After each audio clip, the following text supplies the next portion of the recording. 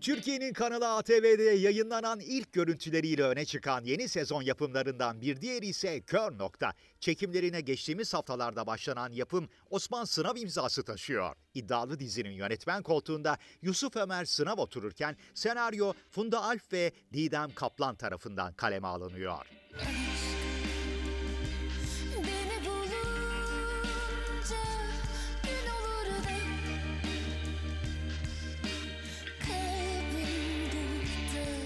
Dizi Gece ve Aslım adındaki iki genç kızın hikayesini merkezine alarak büyük bir trafik kazasının ardından yaşanan aşk, ihanet ve entrikalarla örülü olayları konu ediniyor.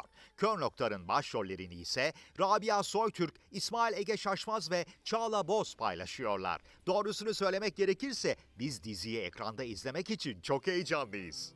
Aynı şekilde biz de öyle yani çalışan ekibimiz olarak, oyuncular olarak çok meraklıyız, çok heyecanlıyız. E, teaserımızı sizlerle paylaştık.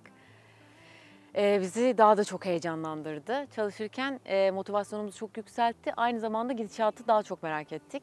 Ama çok güzel bir iş sizi bekliyor. Aynı zamanda bizi de bekliyor. Vallahi heyecanlıyım. Ee, üçüncü haftamız doldu çekimlerde. Şu an çok sakin görünüyor olabilir ama sahneler için. Birazdan sahneye geçeceğiz. Güzel gidiyor ya. Ben mutluyum. Hani Yusuf Hoca ile çalışmak gerçekten çok şey katıyor bana. Güzel olacak ya.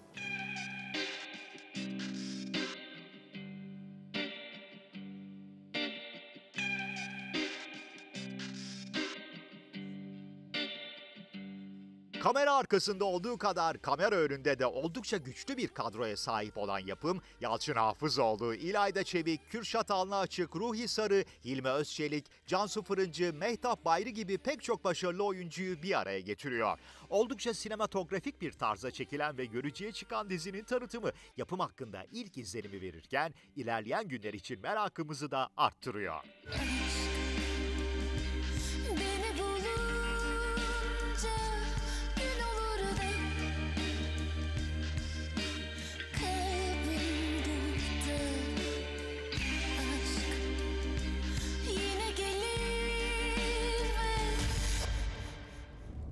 Yaralandığın yer senin kör noktandır.